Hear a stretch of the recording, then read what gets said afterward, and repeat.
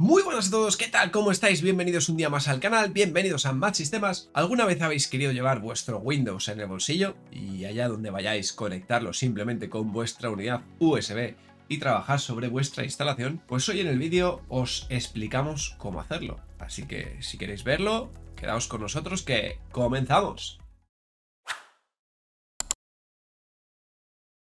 Bueno, pues ya estamos por aquí en el escritorio de mi máquina virtual, como siempre, y hoy, como os decía, lo que os vamos a explicar es cómo tener una instalación de Windows 11 preparada en un USB, que sea portable, que la podéis llevar a donde queráis, que la enchuféis a un ordenador y que seleccionando en ese ordenador arrancar desde la unidad USB os arranque ese Windows con vuestras cosas, de tal manera que es un sistema operativo, pues digamos, portable, que lo podéis llevar y ejecutar allá donde vayáis. Para ello vamos a necesitar tres cosas. Por un lado, la imagen ISO del Windows, en este caso nosotros en el vídeo vamos a hacer la imagen del Windows 11, eh, Rufus, que será el software que nos va a permitir preparar esa imagen en un USB y por supuesto el USB donde instalaremos ese sistema operativo. Tened en cuenta que cuanto más grande sea el USB, más espacio luego tendréis en ese sistema operativo para tener cosas instaladas o llevar ficheros o documentación o lo que necesitéis. Así que vamos allá, sin más demora, lo primero como he dicho, descargar la ISO original de Windows. Para ello, abrimos el navegador ponemos aquí Windows 11 ISO, por ejemplo, y nos fijamos que vamos a ir a la página oficial de Microsoft. Aquí lo tenéis, microsoft.com, pulsamos en descargar Windows 11, microsoft.com es software download Windows 11, y buscamos la parte en la cual nos indica de descargar una imagen de disco de Windows 11 ISO. Seleccionamos cuál va a ser, aquí hay poco donde elegir, le damos a descargar, seleccionamos el idioma, Buscamos el que os interese, si queréis en inglés en inglés, lo que sea, ¿vale? Yo voy a marcar español. Le damos a confirmar y nos generará un enlace que nos va a permitir la descarga de, este, de esta ISO. Yo le voy a dar, ¿vale? Aunque ya, ya tengo la imagen aquí preparada, ya me la he descargado antes. Como veis es una imagen de 5 GB. Eh, la tengo por aquí ya en descargas, la he cancelado simplemente porque ya la tengo descargada, ¿vale? Aquí la tenéis. Y ahora vamos a ir a descargar eh, Rufus, ¿vale? Nos metemos aquí, Rufus, buscamos en Google y como veis su página web de rufus.ie es la oficial en la que tenéis que entrar y buscaremos el enlace de descarga. Tenéis varias opciones. Eh, yo directamente la que me he descargado es la que termina en p.exe, eh, que es la versión 4 de Rufus que, con la que estamos haciendo este vídeo porque es portable, ¿vale? Por no tener que instalarla, pero simplemente, pum, hacéis clic, la descargáis y ya está. Si queréis descargar esta, pues también podéis. Simplemente que eh, para ejecutarla os va a pedir instalar antes. Yo directamente me he bajado la versión, como comentaba, portable. La tengo aquí descargas, de tal manera que eh, no hace falta que, ejecute nada.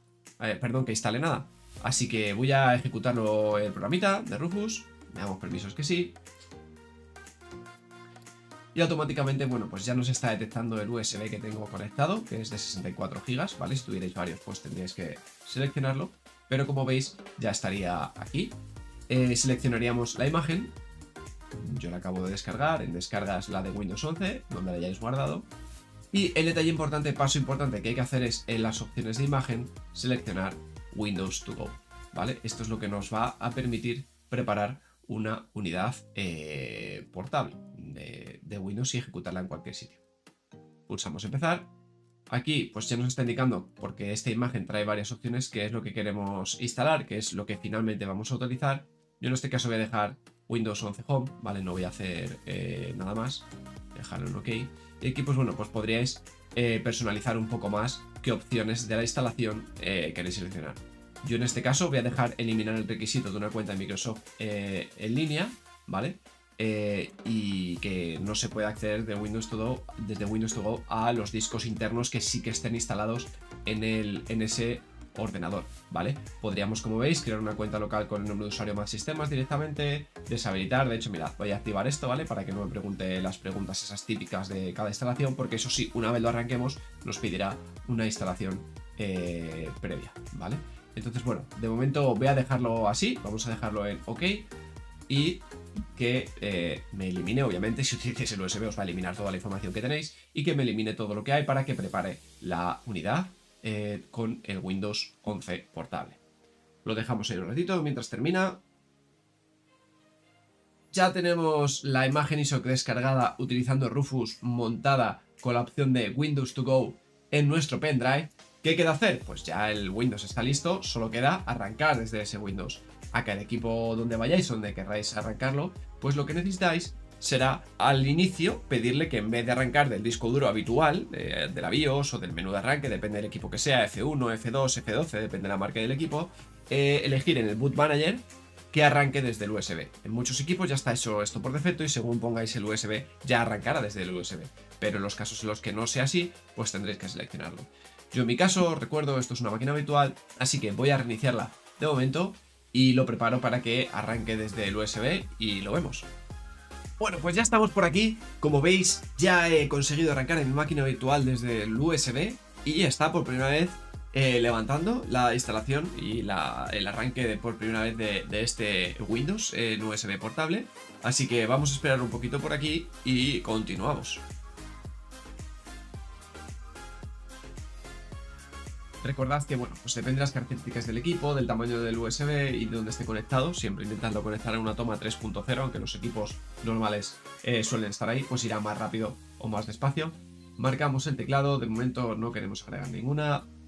Seguimos aceptando el contrato de licencia, de momento no le vamos a poner nombre, aunque podríamos ponerle, por ejemplo, Windows USB. Vamos a poner ese nombre al dispositivo.